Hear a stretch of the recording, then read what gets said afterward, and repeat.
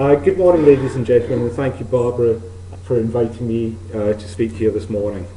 The heart of Neolithic Orkney World Heritage Site, some of the most iconic prehistoric monuments of Britain, Europe, perhaps even beyond. The Ring of Brodgar, the Stones of Stenness, Skara Brae, Maes Howe, which over the years have attracted a huge amount of interest, some may say too much interest, ranging from antiquarian investigations to some less welcome forms of attention, uh, to more modern forms of excavation such as Colin Renfrew's work there in the 1970s, which has recently been augmented and revisited by uh, Colin Richards and Jane Downes with their excavations in 2008 at the Ring of Brodgar. And up to date, Historic Scotland's work, recording through laser scanning the World Heritage Site. But in many ways, despite all this attention, uh, the landscape context of these structures has really changed very little. Here we see uh, the plan of the World Heritage Area produced by Graham Ritchie in association with his uh, excavations at the Stones of Stenness. And in many ways, that plan had hardly changed at all in 120 years when the area was first systematically surveyed by uh, Captain Thomas back in 1850. And it wasn't really until Colin Richards' work in the World Heritage Area and the dis discovery of the Barnhouse settlement back in the late 1980s and the uh, excavations in the early 1990s did this landscape context setting really become addressed. But it was the designation of the World Heritage Area back in uh, 1999 and uh, the subsequent uh, production of the research agenda that things really began to be looked at in more detail. And this has taken many forms from the Royal Commission's aerial photography of the area that's produced some amazing results. Uh, here, for instance, a new enclosure uh, just beyond the Ring of Bookan. To Caroline Wickham Jones and Sue Dawson's work looking at the changing sea levels both in the coast around Orkney and in the neighbouring lochs of Stenness and Harray that surround the World Heritage Site.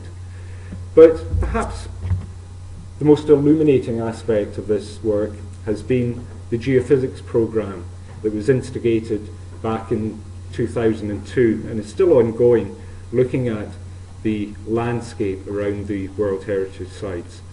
And although we knew that the geophysics was the, the geology of Orkney was very susceptible to producing excellent geophysics results. I think the results that have been produced have just been quite outstanding. And uh, this work is still ongoing and hot off the presses is the area at the north end of the World Heritage Area, which, as you'll see, has produced a number of new sites. Here, for instance, uh, the two, or the enclosure which had been picked up by the Royal Commission, plus another one behind it, a couple of new settlements, Barrow, lots of late medieval rig and furrow, and there we have the Ring of Bookan uh, being geophys too.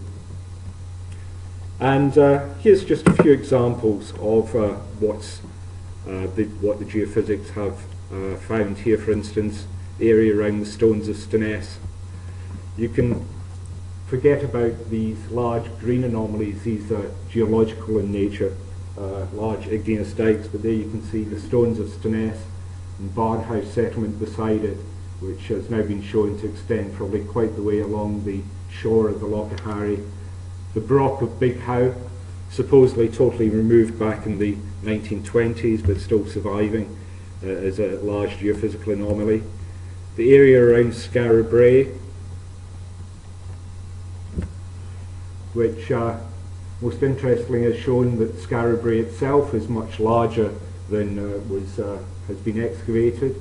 Uh, other features, another Broch, totally unknown about, appears of Bronze Age houses, probably barrows, and again, lots of medieval fuel systems.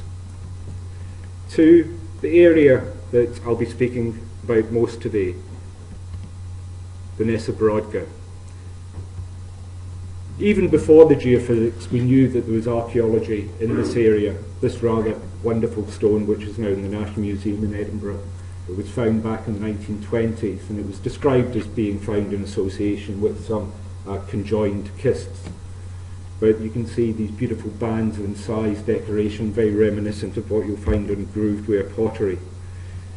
But what the geophysics showed was, in fact, a whole array of different anomalies, rectangular ones, oval ones, linear ones, concentric ones, a whole host of things. But I don't think when we saw the results initially could anybody have guessed that all of these are associated with the World Heritage Site and are all Neolithic in date. It wasn't, though, until 2003 when we had the chance to actually ground truth some of these when uh, a large stone slab turned up in Glasgow University under the human remains call-off contract called in. But instead of finding a uh, Bronze Age kist as suspected, what they in fact uncovered was this beautiful bit of walling. There you see these two people excavating inside of what we presumed was a Neolithic house. It's very kind of angular architecture, very reminiscent of structure two at Barnhouse. The following year, we uh, decided to put a series of test trenches across the whole mound. One primarily to investigate the agricultural damage that was potentially being done to the site, but also try to get a handle on what this meant. And although we positioned all the small test pits away from the major geophysical anomalies, in every single one we uncovered the remains of structural archaeology. And what this seemed to indicate was that this large mound, which is over 250 metres long, 100 metres wide, and about 4 metres high, is archaeology, and all Neolithic archaeology. Since then, our trenches have got just a little bit bigger. But this is still less than 10% of the site, so lots there for future generations of archaeology. And what we've uncovered is a Neolithic complex which I don't think can be paralleled anywhere else. In the latter phases that we've so far looked at, you're looking at a site which is dominated by several very large stone structures. At least three just within our trench, and many more indicated by the geophysics. And the preservation is quite outstanding. Here just a few examples. Structure 1, which in its primary form was very much like structure 2 at Barnhouse. Six recesses arranged around probably what we expect to be a cent, uh, double uh, hearth area. But this has been later transformed by the insertion of this massive curving wall and later on a strange circular structure built within this building. Structure 8, very similar to structure 1, with these uh, stone piers creating recesses along the wall faces. And this was based on what appears to be an earlier oval structure that we're just coming to terms with, where it's, in its main form you're looking at a structure which is probably in excess of 20 metres long and uh, almost 10 metres wide. And within this structure, we've had some quite amazing finds. Not least, perhaps, is the discovery of what appears to be a standardized Neolithic roofing system. These slabs here are Neolithic slates, very like the ones you might see on many Orcadian roofs even today. A lot of these had been trimmed into rectangular shapes of a, maybe a standardized form. No sign of kind of nail holes or anything, but I think undoubtedly the remains of a collapsed roof. And in association with the structure, again, there's it to emphasize the perhaps an abnormal uh, function of this. There's an amazing array of finds here, just from two of the uh, side recesses that we've so far managed to get down to the floor deposits on. Whalebone, uh, mattocks, uh, vast array of uh, polished stone tools, uh, mace heads, etc and last year to uh, join structures 1 and 8 is structure 12. Again, very similar for these side recesses created by these beautifully tapered stone piers. Interesting to note also that in all these three structures, the distances between these piers is a standard, roughly four metres. I'm not saying megalithic yards. The development of the site, though, is uh, again quite amazing. When these structures had gone out of use, what they're su uh, supplanted with is structure 10, which uh, really dwarfs everything else on site in both its scale and complexity. And the closest parallel we have to it is probably structure 8 at Barnhouse. But in its uh, main life, you're looking at a structure with a cruciform shaped central chamber, walls five metres thick, entranceway somewhere in this region, we think, and an outer forecourt annex. But note the uh, cruciform shape of the central chamber, very reminiscent of uh, what you'll see at uh, Maes Howe with the, the central chamber there, and also surrounded by a paved walkway running all the way around it. The similarities of the shape of the central chamber uh, structure 10 in Maes Howe is also reflected in the use of standing stones. Here at Maes Howe we have standing stones creating the corner buttresses and also it's been argued that the large stone slabs forming the entrance passage are part of a dismantled stone circle. Well, with structure 10 we also have standing stones. Here the remains of one in the annex area made from rhyolite, very hard igneous rock, and with this hole drilled through it. But not just one old standing stone, hints that another one stood somewhere close by, this fragment that was uh, recovered from the uh, debris within the structure. This association with Maes Howe is also perhaps most dramatically uh, shown by the orientation of structure 10 when you draw a line down the central axis of the building, lo and behold, in the distance, Maes Howe. But this kind of association with a funerary monument, um, there's other things which would seem to connect structure 10 with the domestic. Because here in the central chamber that we're just getting down onto the main floor deposits, you also have a large square hearth, recesses around the side, which you might see more normally in some of the houses perhaps of Skara Brae. But, and also a stone dresser. But this stone dresser is something again quite unusual. A lot of the stone has been dressed. This slab, in fact, has pecked chevron designs along the, the edge. And also, this cup and ring mark stone came from debris just behind the dresser. Tempting to see this as perhaps being set into the back of the dresser. And the equinox sun maybe shining down the entrance passage and lighting this up maybe a bit too poetic, I'm not sure. But um, also structure 10, an amazing array of Neolithic art, lots of examples of cup mark stones. Here, for example, one, a beautiful one set into the entrance passage. And this use of art is reflected by a wide range of art right the way across the site. We now have something like 120 examples from that very large cup and ring peg marks to much more finely incised. This is part of a large chevron design. Or this one, very similar to the uh, original Brodgar stone discovered in the 1920s. But it's not just the use of structure 10 which is unusual, it's also the apparent decommissioning of it when the paved pathway that runs all the way around the structure was infilled with an animal bone deposit but not just any animal bone deposit. Uh, it's all cattle, or about 95% of it's cattle. But not just any cattle bone, it's all cattle tibia. And in the small area that uh, here we see Dr. Ingrid Mainland excavating last year, about a square metre, uh, she, uh, she recovered the remains of 14 individual cattle. So when you multiply that up, this bone deposit that does run all the way around the structure perhaps represents the remains of hundreds of cattle. Final feast? Who knows? In structure 10 we also have the use of coloured sandstone.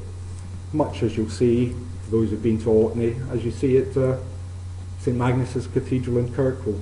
And this, again, has been brought in from several kilometres distance.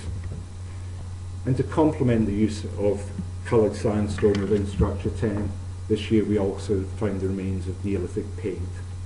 Uh, I can't remember what I said to the student who discovered this when she came running over to me and said, I've discovered painted walls. But I think uh, I didn't believe her. But lo and behold, here on one of the slabs built into structure 8, this slab with uh, definitely bands of uh, coloured pigment, reds. This photograph doesn't really do it justice, but reds, browns, ochres, yellows, you know, all kind of lovely earthy colours. And uh, later on, again in structure 8, this, which doesn't really show up too well, but a kind of chevron design that has been painted on. To complement these structures and the uh, discoveries I've shown already, also a lovely array of beautiful finds, stone axes, mace heads, pitch stone from Arran. Most of the flint assemblage seems to have been made from flint from the Yorkshire wolds. A very large array of grooved ware pottery. Uh, in all my years of excavating in Orkney, I've never seen uh, such a, a, wide range of pottery, pottery decoration, which perhaps could represent uh, input from lots of different communities right the way across the islands. But perhaps most amazing to me is what contained these structures. At the northern side of the Ness of Brodgar, we discovered what somebody called the Great Wall of Brodgar but a wall of truly monumental dimensions.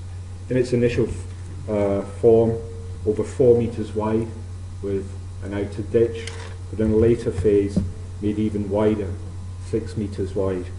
And this has now been traced all the way across the peninsula, separating the major structures here from the Ring of Brodgar to the north.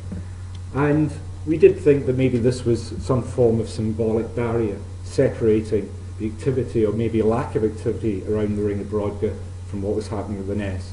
Perhaps as Mike Parker Pearson has suggested, that separating the land of the living from the land of the dead. And this is reflected also by the Dyke of Seen, which seems to form the northern boundary of this kind of dead zone around the Ring of Brodgar. A large earthwork that kind of stretches across the Brodgar Peninsula, here seen from uh, Royal Commission photograph, running right the way across.